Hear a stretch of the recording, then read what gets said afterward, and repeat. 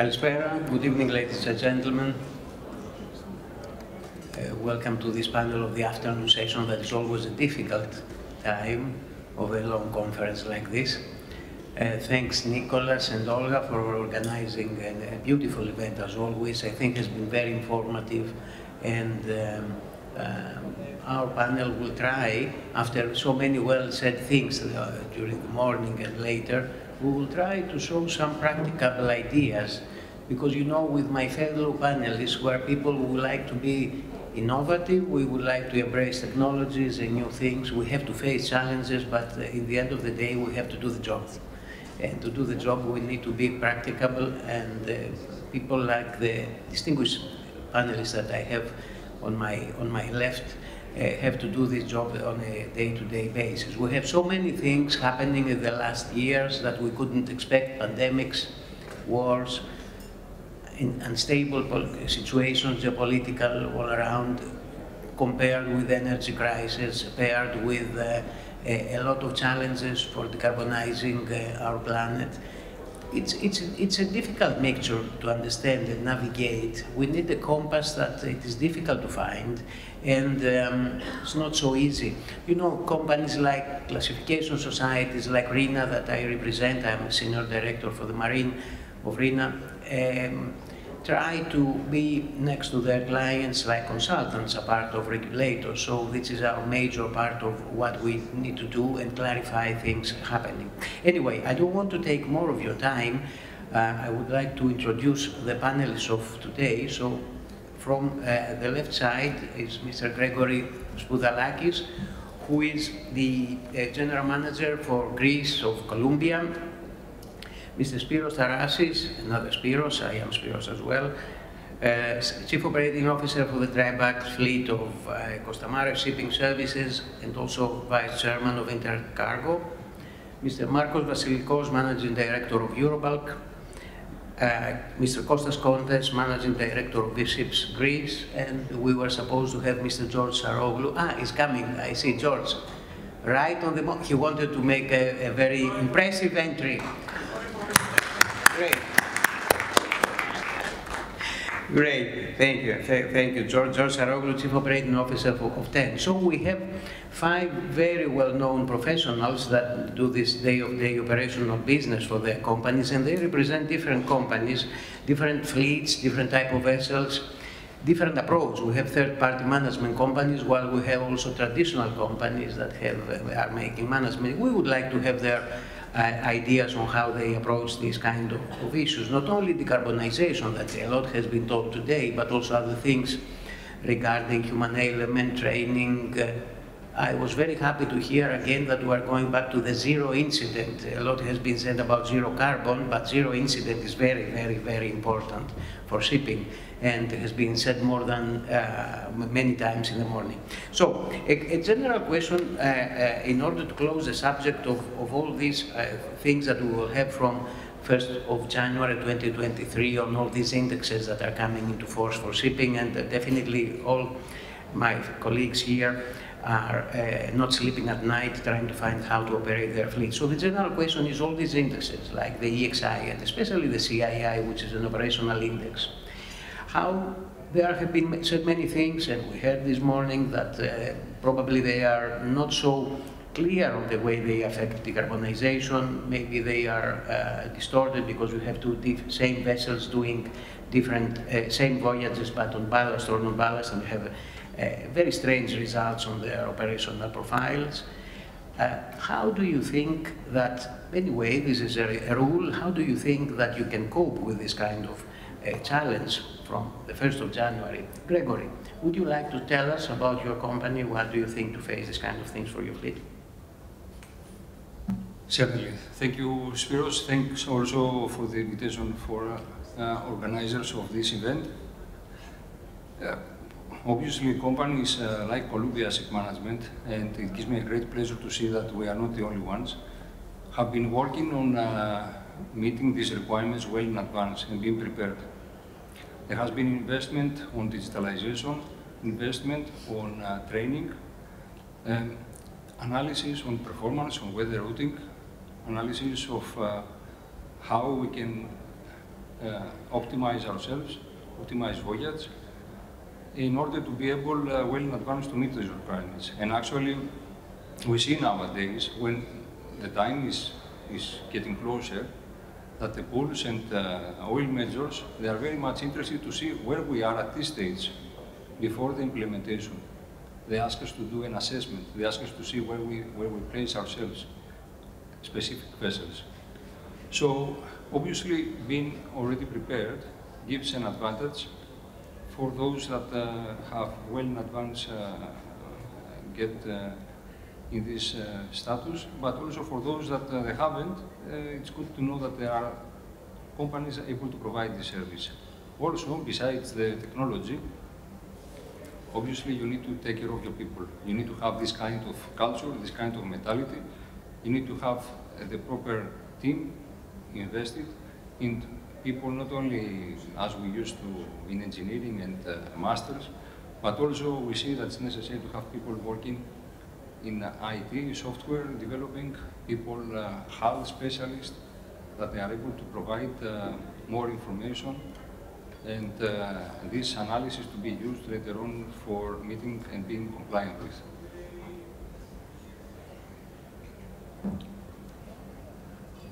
Thank you, Gregory. Uh, regarding the tools that you mentioned, uh, do you develop inside your company? Are you outsourcing? How is the strategy of Columbia on that? Yes. Uh, you need to be able to come in advance, and to do so, uh, you need to see new partnerships, new alliances, but also to develop, as we said, the people you are working with inside the company. So for some cases, we have been able to outsource, and for some others, we have been recruiting uh, specialists to do so.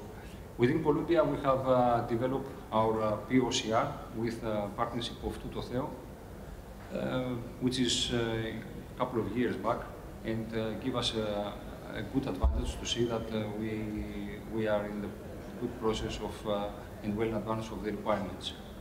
Uh, to provide uh, information and advantage regarding voyage optimization, weather routing, engine performance, uh, hull optimization, and, especially provide feedback when this is necessary to, to the clients or to the vessel that we manage in general, time comes for uh, hull cleaning or what kind of special coating to be applied to meet up and improve uh, the index that we see they are coming shortly. Great, thank you, Gregory. Same question on the CII headache for uh, Spiros. Spiro, what about Costamare fleet? What is your tip and tips and tricks for? What is the chance for two Spiros to be in the same panel? Thank you for uh, inviting me here. Thank you, Nico. Thank you, Olga. Um, I have to agree with Gregory. Uh, everything should be ready, and um, I have to point out that uh, uh good shipping companies have already many years ago uh, tried all these things. Um, digitalization, uh, data collection. Uh, I have been collecting data since 2005. Um, installation of uh, energy-saving devices that has been done in the past from 2005, Mewis ducts, um, uh, PBCFs, uh, silicon paints.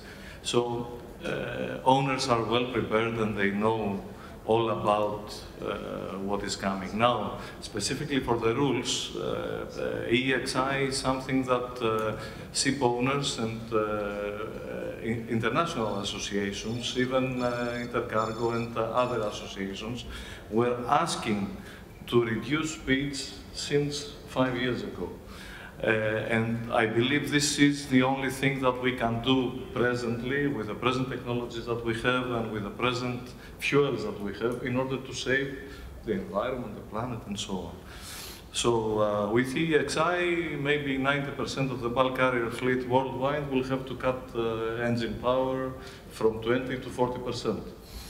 Uh, and we are ready for this also. We have to do it, we are ready to do it. Uh, keep in mind that we are going to burn fuel for the next 10, 15 years. So this is something that we have to do. Uh, for CII is a different story because uh, CII is an operational index and uh, us as ship owners, we take all the orders that we have from the charters. So uh, this is something, again, that we need to get together, talk with the charters, uh, talk amongst us, uh, and decide how we are going to operate the vessels. Uh, of course, we have uh, a decision making that, okay, we will not exceed the speed because we need to keep our vessels in the CII, but we must be covered also by the charter party.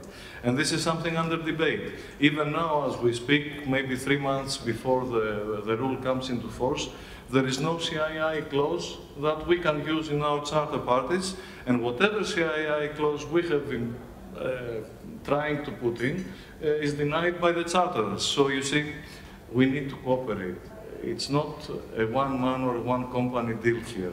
We need to find synergies and we need to be together in this in order to meet any target that we are going to have because believe me, the targets are going to change and maybe they are going to be more stricter in the future. Thank you. Thank you, thank you, Spiro. In fact, that's that's a situation, and uh, if you, if you think that we have to make all these changes, and, and as we said before, on the same time keep the safety aspect as top priority, because we don't have to forget how difficult it is to transport products from point A to point B. It's not an easy business to adapt new uh, technology situations is becoming more complex. Anyway, I go on to Marcos Vassilikos. Marco, your views your experience, what is your instinct saying about uh, next year? Um, this is going to, to, to, to uh, first of all, good afternoon, ladies and gentlemen. Thanks, uh, Nico, for the invitation. It's uh, my pleasure being here. Um, uh, the EEXI, uh, obviously we have to deal with two different matters here, EEXI regulation and the CII regulation. Um, the EEXI, uh, there isn't really much we can do. Uh, it is a fixed uh, design number, um, and um, most, the majority of the ships built uh, before 2014 um, will have to probably uh, reduce uh, the power of their engines by installing an engine power limiter. So this is what it has to be done. There is nothing much about it. Uh, shipping companies must uh, get prepared to meet uh, the due dates, which is the uh, first uh, IAPP certificate renewal after the 1st of January 23 there isn't much time, so uh, this process uh, should have started uh, at least uh, six months ago, I, I believe, uh, in order to be able to satisfy the regulation. Um, obviously, ships have already started reducing speeds. this is an ongoing process some time ago it was dictated, the speed reduction was dictated by the market. Nowadays it is dictated uh, by the uh, shipping market, I mean. Nowadays it is dictated by environmental regulations. So it will be done, but obviously this is not enough. Speed reduction is not enough uh, to satisfy uh, neither the de decarbonization targets set by IMO and the uh, European Union, nor by the CII um, targets or limits, rather. Um, so what are we doing uh, to satisfy these uh, uh, limits? Um, there are things one can do. Obviously, we must improve the energy efficiency of our ships in order to satisfy the limits or use a greener uh, fuel on board our ships. Um, as far as fuel is concerned, LNG is one option. I convert your ship into LNG if that's possible. It's very expensive and in most of the cases it is not possible. uh, or use um, uh, biofuels, a certain percentage of uh, biofuels during the operation of your ships. Um, this is possible, it is expensive, it has not been tested widely, but it is possible. Um, and uh, on the efficiency side, what we are doing, uh, we are looking at um, options like uh, bulbous bow modification or propeller uh, change. Uh, this it can be done in uh, large container ships. Um, we are doing uh, possibly more frequent uh, dry dockings, um, uh, application of silicone paints, better or wider blasting of the underwater parts of, of, of, of the hull. Um, obviously, you may use ducts, uh, propeller fins. Uh, this is also a possibility. Route optimization uh, may uh, give you a few percentage uh, uh, more efficient uh, operation. Um, I, I, I believe that uh, these are the, um, how can I say, the easiest ways to deal with the problem. Uh, obviously, each one requires a lot of investment. Uh, it's not, uh, I mean, uh, changing the propeller uh, requires uh, expensive studies and expensive modifications. But if you can um, extend the commercial life of your vessel by a few years, uh, it uh, may make sense. Thank you, Spiro. Thank you, thank you, Marco. Very interesting. there are a lot of ideas and uh, a lot of money to be taken out of the pockets. Important is to find them. Costa, Yusufs, what is your idea for this new uh, I mean, situation? As a third-party manager, I think uh, I will not be commenting on the commercial side of the uh, CI. And uh, however, what I have to say is that uh, the industry has shown an adaptability on the new regulations, and we have seen that, and uh, shipping has been uh, quite good in that. Um, the fact that uh, within the group we have a large number of various type of vessels have taught us how to be able to gather data and proactively be there. Uh, and when we talk about energy efficiency on the passenger ships, for example, we have applied the, the, the, the efficiency um, a, a number of years ago. Um, so we know what is happening, we know what is expected to happen. Um, uh, CII is an operational, as the rest of the panelists have said. Um, uh, requires calibration, probably requires calibration, uh, as commercially uh, the way it looks or is calculated probably is not accurate. Um, uh, however, since we have seen that this is coming up, this is coming to stay on the way that it's going to stay. What uh, what requires a good ship manager to be behind and doing it is certainly a very professional performance management team. I mean, monitoring every single mile of your vessel, uh, making sure that it, this is aligned with your crew element. So your crews on board the vessel, they should be aligned with your performance monitoring and make sure that they understand that the cost of an extra generation, generator app might cost something. But, um, uh, and we have seen that in the past, we have been on the container side as well, we have been adaptive in uh, making sure that slow steaming on so large engines is happening by cutting down the, the turbochargers, for example. And so we, we have been able proactively to look at uh, beforehand also those areas. Um, my comment here and addition would be that while shipping ship managers and operators they need to look at their energy efficiency from their side, we, we seem to be lacking the same happening from the infrastructure ashore. Uh, so where, are the, where is the infrastructure, for example, to make sure that the AMP, so the electrical, the cold iron, famous cold iron, is there in place to make sure that a vessel, while in port, is able to use uh, an alternative means of power and, and, and, and stop this environmental uh, hazard.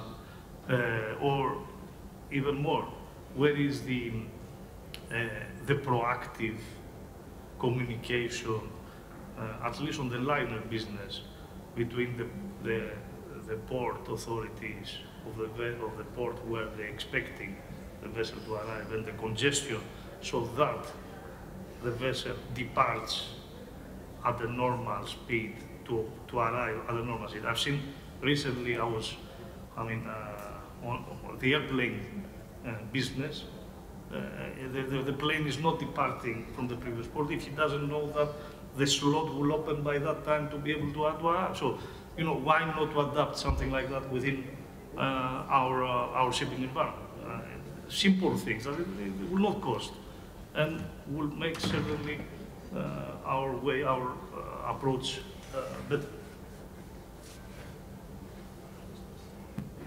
Costa, very well said, thank you. Uh, absolutely, that's the point, uh, which is very important, that shipping alone cannot uh, do everything. is a part of a whole chain of things that has been said more than once. This uh, conference of today is a message, but nevertheless, yes, we're trying to find ideas what we can do, uh, regardless of what the whole um, value chain will do on that.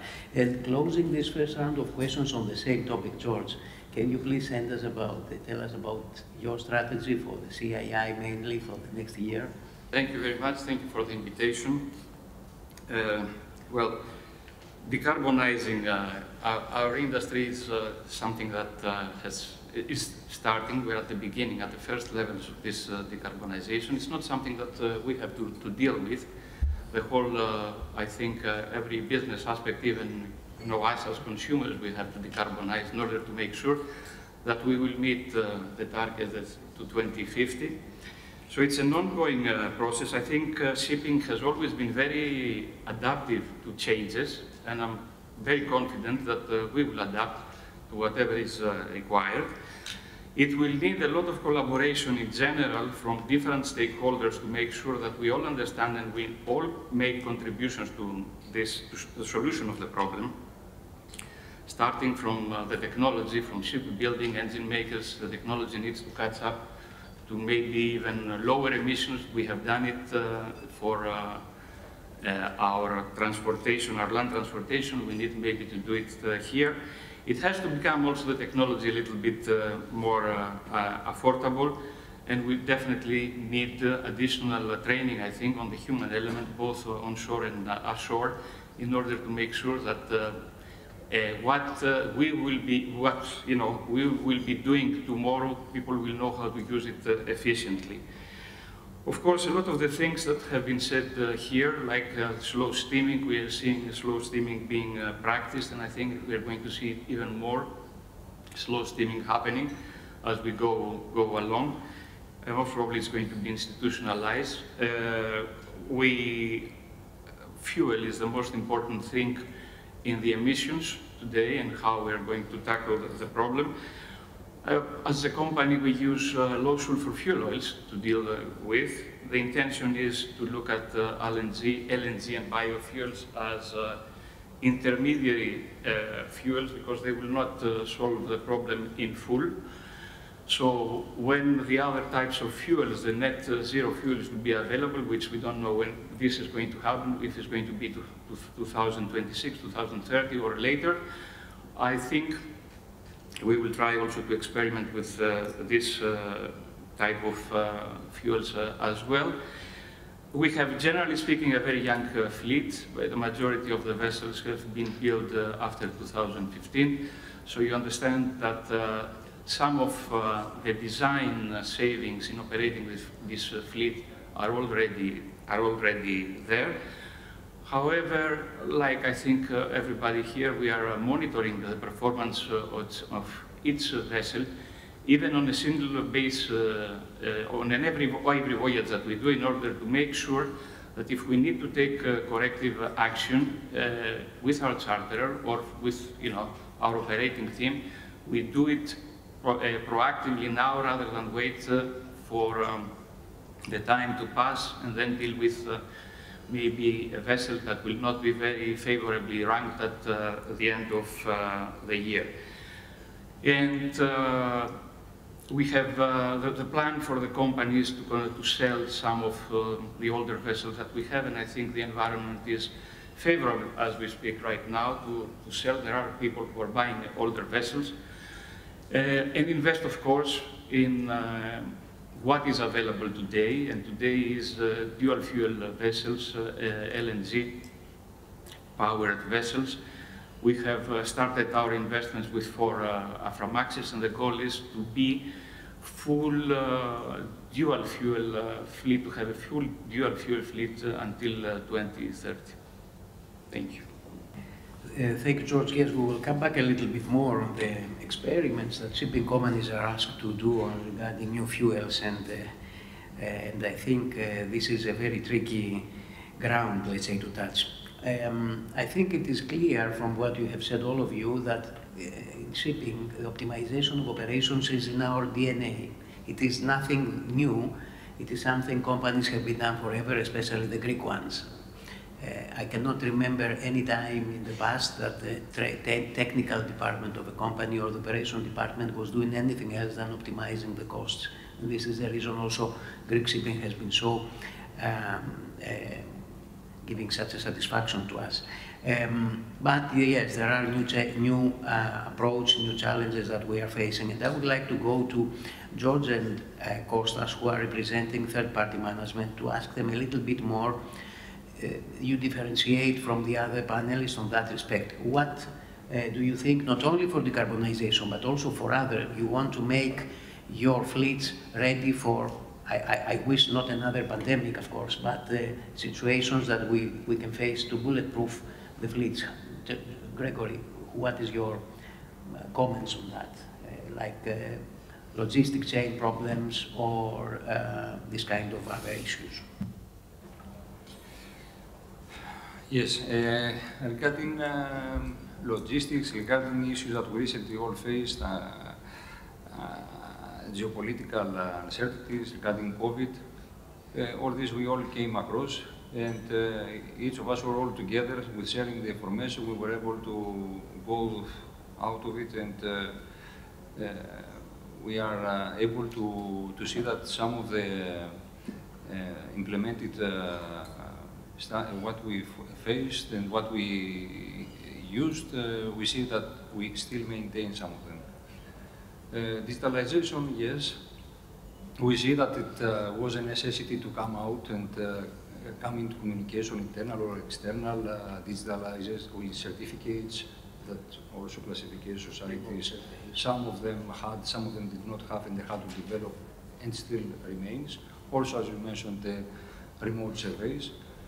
Um, the development also, uh, due to the COVID, to the part of uh, support to our group, uh, where we had to additionally develop uh, solutions like we did uh, for the One Care and uh, supplying, being able to provide to the crew mental health and well-being in order to be able to address issues that they have been dealing with on board vessel because digitalization has been able to address a lot of issues, but at the same time, when you have the seafarer being able to communicate with, uh, with the land, while that was not so often possible, uh, some of the troubles at home have been transferring to the onboard crew, and that had, as we saw, the need for mental support. Uh, so this, these services will remain, this support will remain. Geopolitical uh, uncertainties, yes, we had to face, but this was also an opportunity in order to uh, investigate and to see where else we are able to meet the requirements and where able, we are able to resource the necessary crew. Within Columbia, we feel lucky that uh, we have been uh, developing our own 15 uh, manning uh, agencies, so that was easy to pick up where we were able to reinforce uh, those uh, uh, and address these changes, or where else we needed to, to expand, as we did in India, for example. Um, regarding the matter of, of the COVID, we all had to go through it and see ourselves becoming better, stronger. Uh, definitely we will use, use still the digitalization and we will still use whatever uh, we developed uh, and we see that we can still uh, have this effective uh, for our uh, crew and also for the office. We had also the hologram that has been used to have another interactive interference between crew in, and our office staff in Manila and our people that were not able to easily fly to places. Uh, this sort of uh, measures that we st- still see that we will be able to maintain. Thank you, thank you, Become Gregory. Yeah, Many, many ideas. Thank you. Gentlemen, we need to run a little bit. Nicholas is already looking at me becoming red. The, the color changing here. We have seven minutes to cover, we, we could cover the con- Congress, I think the whole forum with you five. Um Costa? I will be I will be very fast. So I mean, everyone le- learned a lesson during the pandemic, and following the pandemic, the the uh, political conflict uh, in Ukraine. So crewing was the number one element that we have been all affected. Trying of alternatives, we found alternatives. We have been able uh, to uh, man our vessels on time despite the difficulties. Logistics, logistics consolidation was the lesson learned. So we have a fleet predicting data of our PMS. We have been able to order in advance, not making, not waiting for the last minute to place the orders for the, the spares or for the necessities that we might need on board. Taking on board our people, that was a difficult task. Um, uh, we managed to locate resources of the group worldwide so that we make sure that we visit our vessels. Uh, remote is one thing, but physical is certainly better. And um, what we have learned from all this at the bottom line was uh, that the data analytics brought us a good feedback or information within our hands. And what I mean by data analytics, we have developed a system called, uh, I mean, through our platform, which is ShipSure, called Sentinel. Through Sentinel, we have been uh, pointing out the strengths and the weaknesses in every area of the KPI that we want within a vessel. If it is crew strength, if it is technical uh, expertise of the uh, uh, technical condition of the vessel, past per, uh, post-stakeholder performance. So anything that you might need is within your reach to be able to take a decision as, as required. Thank you, Costa. Um, going back, a, a quick question to George that you already mentioned. You are experimenting at TEN with uh, alternative fuels. Have you already any fuel that you trust of the fuels that you are thinking of or already experimenting with, or we have not? What you can share with us? We have not uh, done uh, a live trial yet, but this is something that uh, we plan to do very soon, within, uh, before, certainly before the end of uh, the year. Uh, It's not also very, very available. We, we understand that there is a lead time. Some suppliers, some of the major suppliers need maybe two months from the order until you deliver, they deliver the product to you. So it's a lot of preparation that needs to take place before you actually go to, a live uh, trial. And of course, uh, doing a trial uh, could be the easiest uh, thing. There are a lot of things that need to happen before we make sure that these transitional fuels can be used without creating uh, headaches for uh, ship owners, uh, technical managers, operators. And I think it will be crucial not to repeat, allow me to say, the mistakes that happened after the introduction of 0.5% fuel oil, when uh, we uh, were, uh, basically we are dealing right now with uh, a fuel that doesn't have a fixed specification. There are some intermediary, intermediary, let's say, specification, but not the final specification. And I'm saying that because blending to, to arrive at 0.5% uh, is done by everybody. This is very much unregulated, and of course, if on 0.5 uh, this uh, you have elements uh, in uh, the fuel that can harm your engine and therefore create a safety risk for uh, you know your operation, you understand that on the biofuels we're, we're, a little bit more skeptical because the concentration of some of these some of these substances can be up to 30% or even higher. So we need to have a standard, and this uh, standard, first of all, needs to be enforceable. We need to have then a supply chain that will support the, you know, have it readily available, because not uh, the oil majors are not in every port. And we should, of course, make uh, the price of these uh, fuels very affordable, because right now they're two times, if not more, expensive than the regular uh, low sulfur fuel. Thank you, George. We have two minutes to cover two very small topics I would like to touch. Uh, we haven't. One is human element. I would like to ask Spyros. What do you think? All these kind of things, humans are still around, or we have to replace them with uh, engines? I will be very quick. Uh, I hope you were here when uh, Mr. Dimouleas was, was talking about human element before in the uh, previous panel. Uh, the only thing that COVID did to the, to the shipping companies is to realize how important people are on board our vessels. And this is something that we need to realize two times and three times more. Um, we have to deal with new generations also that have other needs than what we had uh, 30 years ago. So uh, yes, it's a very crucial matter. I think that shipping companies, they took care of their people for so many years and they are going to take care of the new generations also. They are going to train them. Uh, we need to train them and we, are, we have to keep them uh, physically and mentally safe. Mentally is the last part that we learn now and we have to do it. Uh, people need a life on board and we have to give it to them. Spiro, thank you for being very to the point and transmitting a very clear message. Marco, would you like to close with some comments on human element or probably on other elements that are affecting your decisions, like charters. How do you face charter parties? How do you intend next year to do it? Um, yes, I'll, I'll, try to be very brief. And um, one, um, one problem that uh, we are dealing with uh, at this time is uh, um, the so-called CII clause in charter parties. Um, and uh, apparently BIMCO is uh, trying to balance uh, between uh, owners and charters uh, requirements and they are having a difficulty publishing uh, a widely accepted clause.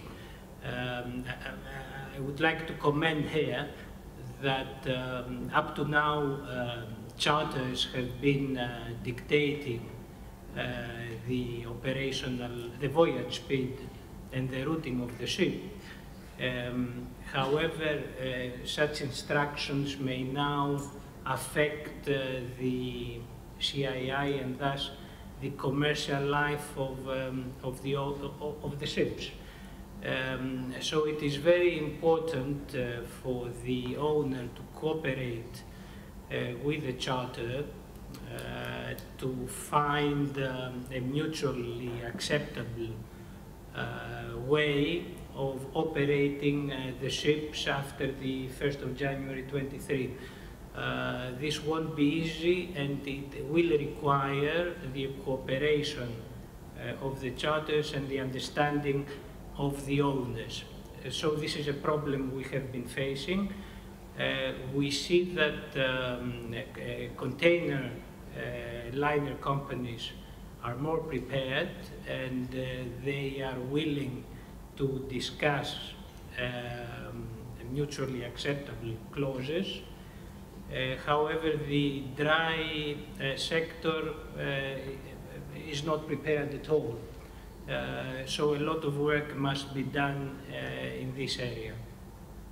Um, one thing I, would like to say is that uh, uh, just a comment to end uh, my my speech here um, is that seven, six years ago when I spoke at a similar conference in London, uh, when I mentioned uh, the requirement uh, for shipping to decarbonize, I had received a very hostile uh, response from the audience.